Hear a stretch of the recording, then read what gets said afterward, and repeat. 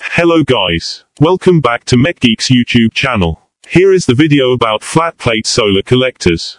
The flat plate solar collectors are probably the most fundamental and most studied technology for solar powered domestic hot water systems. The flat plate collector is basically a heat exchanger, which transfers the radiant energy of the incident sunlight to the sensible heat of a working fluid liquid or air.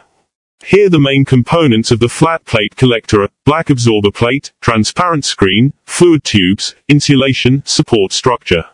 Sunlight passes through the transparent screen and strikes the absorber plate, which heats up, changing solar energy into heat energy.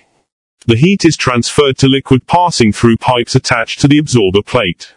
However, the rest of the energy is still lost in radiation to the outside environment. Flat plate collectors heat the circulating fluid to a temperature considerably less than that of the boiling point of water and are best suited to applications where the demand temperature is 30 to 70 degrees C. That's it guys for this video. Hope you understand our explanation. If you liked our video please give thumbs up, share this video to your friends, express your views in the comment section below.